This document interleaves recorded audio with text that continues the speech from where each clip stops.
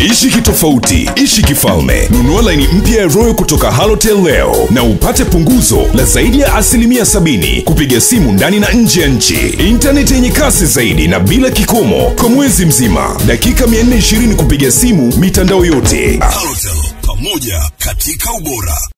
Mwili wa aliyekuwa mwandishi wa Mwananchi Communication Limited wilaya ya Ngara Shabani Ndiamkama umeondolewa katika hospitali ya mkoa wa Seketura jijini Mwanza na kusafirishwa kwenda Muleba mkoani Kagera kwa ajili ya mazishi. Ndiamkama alifariki Aprili 5, 2019 akiwa njiani kupelekwa hospitali ya jeshi iliyopo uwanja wa ndege jijini hapo baada ya afya yake kubadilika ghafla. Kulingana na ndugu wa marehemu Ndiamkama, wameshukuru ushirikiano ulioonyeshwa na kampuni ya Mwananchi Communication Limited kuanzia utaratibu wa hospitali hadi kusafirishwa kwa mwili huo. Sasa tunashukuru kwanza kwa michango yenu na kwa kujumuika nasi. Imetokea michango mbalimbali ya kuweza kutustiri sisi ndugu, tunashukuru sana kwa hilo. Tulipata mchango wa kwanza kupita kwa, kwa Redio Kwizera, lakini umekuja mchango mwingine kutoka Mwananchi. Sasa kuna kaka ameniambia kama kuna uwezekano wa watu wengine kuongezeka kusafiri, tujumuishe pesa ile kwenye usafiri. Lakini kwa mawazo yangu mimi binafsi, ya kwangu binafsi, marehemu ana mtoto anaumwa na hana msaada mwingine sasa hivi kwa sababu amefariki, kwamba yule mtoto atatibiwaje?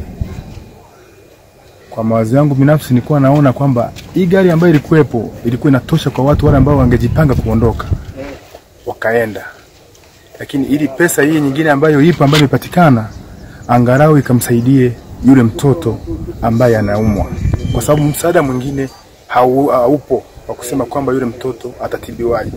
Shangazi wa marehemu Rukia Swedi amemwelezea marehemu Shabani kuwa alikuwa mcheshi na mkarimu kwa kila mtu. natokea Msisha Katanga, ambao ndo kwao na Shabani ndo mwanafamilia, ni mtoto wa kakaangu Shabani. Tumeishi vizuri, tumekuwa pamoja, karibu tunalingana karibu lika moja, lakini tuko vizuri, tunaishi vizuri. Na mara ya mwisho hapa tumekutana kwenye msiba wa dada yangu, tukasafirisha tukapeleka Sengerema, tuko wote yani tukaongea vizuri, tukaagana kwamba atakuja huko Mwanza, lakini ndio hivyo alikuwa akujali. Lakini Shabani, sisi tunavyomuelewa sisi kifamilia, ametupa pigo kubwa, ni mcheshi, maongezi yake, msaada. Hata ukiwa unasema sijui nini, yeye tayari ameshajali. Alikuwa ni mtu mzuri sana kwa kweli, ni mengi ya kuelezea kwa Shabani, kuyamaliza uwezo. Mkwe wa marehemu Hassan Yusufu amesema kwamba baada ya Ndiamkama kuzidiwa ghafla majira ya saa mbili usiku walimkimbiza katika hospitali ya jeshi ambapo waliarifiwa kwamba marehemu alikuwa amebaki na mshipa mmoja wa fahamu, hivyo ingekuwa vigumu kuokoa maisha yake, na baada ya muda wa dakika mbili waliarifiwa amefariki. Kwa jina naitwa Yusufu. Ni nimemwoa wake Shabani semina Mwanza, akafikia kwangu siku ya Jumatatu. Jumanne, Jumatano akawa ameniambia kwamba anaumwa, amepima, amekutwa na malaria, akaja na vidonge, akaanza kumeza. Akasema ameambiwa kwamba anywe na kupata matunda. Alhamisi akasema amepata nafuu kidogo, akaenda kuhudhuria semina, akarudi akasema kwamba semina wamefunga, na Ijumaa alikuwa anategemea kwamba aondoke kurudi Bukoba. Alafu akajisikia akasema kwamba alijisikia vizuri. Ijumaa asubuhi aliamka tofauti, akasema kwamba hali yake sio nzuri, kwa maana hakutoa ufafanuzi kwamba ataendelea na safari au ameahirisha. Na unajua mtu mzima huwezi kusema kwamba safari yako vipi au nini, inabidi umsikilize tu yeye mwenyewe.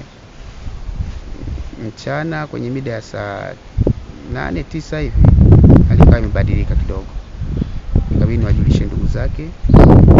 Mmoja ndiye kufika pale, mwendo mdogo wake, ila mwenyewe alifika too late kwa sababu alikuja mida saa kumi na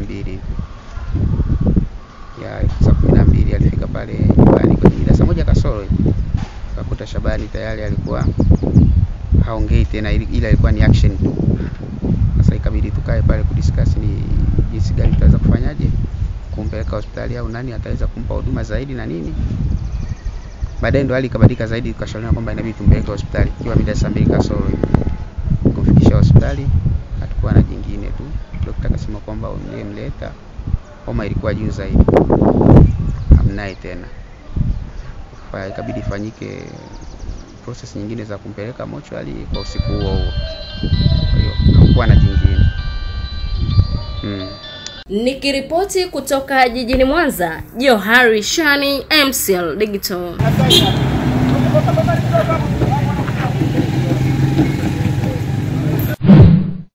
Subscribe MCL Digital.